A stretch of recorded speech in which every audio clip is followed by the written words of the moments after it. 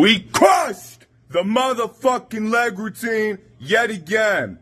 I want you to understand the feeling of an earned high vibrational state. If you wake up at a time that makes you proud, you complete a workout that makes you proud, you withhold from the piss poor habits and engage in activities that raise your vibration, you serve other people, the way that you feel that joy, that peace, that confidence, that contentment that you reap is your reward. When you have these perfect days, notice how you feel. You know exactly what you need to do to fucking earn it. So when you do it one day, why don't you just do it again? And the next day, and the next day, and the next day, and the next day. Why don't you just keep on fucking doing it? See, stop fucking killing your momentum. You stack wins for one day and you're, ah, you la-di-da. You fucking ride that little high and indulge in comfort afterward. Here's the thing. Stop killing your momentum when you have these days where you just make yourself so fucking proud.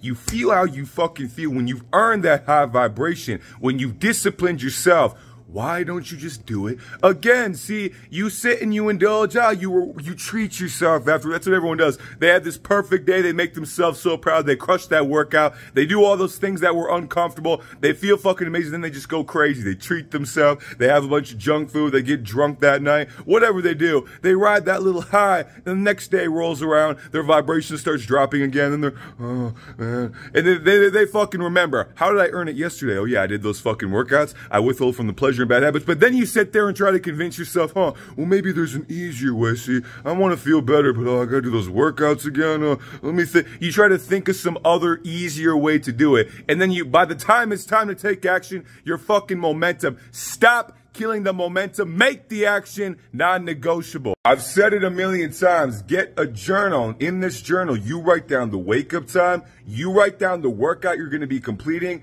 guided meditation practice, any other wins you're going to be stacking for the morning, healthy breakfast, whatever it is. You get that list and you write in that journal every single evening what you're going to be doing in the morning time. So you make those wins that earn you that fucking high vibration, that earn you that feeling and that abundance and joy and peace and contentment and fruits of the spirit. You make it non-negotiable. You make the actions non-negotiable. So every single day when you wake up, you have the set structure. You have a fucking structure to follow so you know exactly what you need to do. No matter how you feel about it, you know what actions need to be taken so you can earn that high vibration again. Stop fucking killing your momentum. Make those daily wins non-negotiable and make yourself proud every fucking day and earn that fucking peace.